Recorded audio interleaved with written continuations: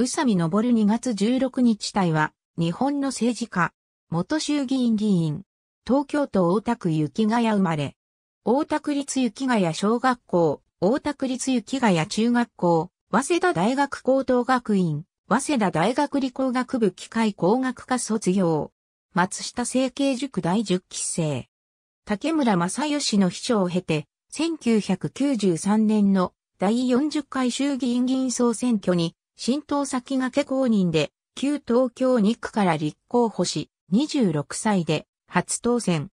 1996年、小選挙区比例代表並立制導入後初めて実施された第41回衆議院議員総選挙では、東京3区から新党先駆け公認で出馬するも、自由民主党の栗本慎一郎に敗れ、落選。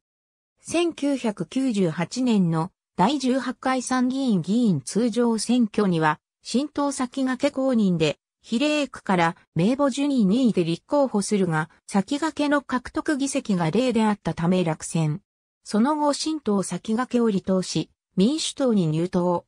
2000年の第42回衆議院議員総選挙には、民主党公認で東京4区から立候補したが、再び落選した。2003年の第43回衆議院議員総選挙では東京を4区から民主党公認で立候補。自民党の中西和義に敗れるが、重複立候補していた比例東京ブロックで復活し、7年ぶりに国政へ復帰した。2005年の第44回衆議院議員総選挙では東京を4区から立候補したが、自民党の平正明に敗れ、比例復活もならず落選。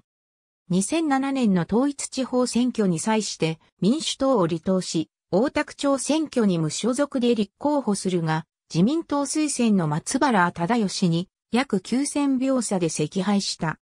2009年の第45回衆議院議員総選挙では東京を4区から無所属で立候補するが、民主党新人の藤田則彦、自民党前職の平正明に次ぐ3位で落選した。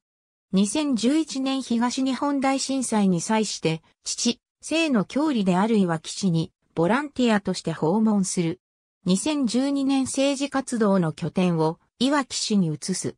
同年の第46回衆議院議員総選挙では、福島5区から日本維新の会公認で立候補したが落選した。その後、日本維新の会を離党した。2013年9月、いわき市長選挙に無所属で立候補した。31,402票を獲得するも3位で落選した。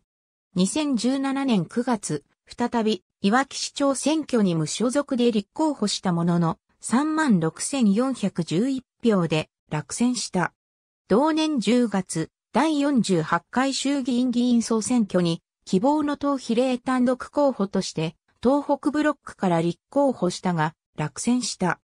2021年3月14日、同年秋に行われるいわき市長選挙へ立候補する意向が伝えられ、同選挙に無所属で立候補したが、9月5日投開票の結果、元文部科学省室長の内田博之に敗れ時点で落選した。ありがとうございます。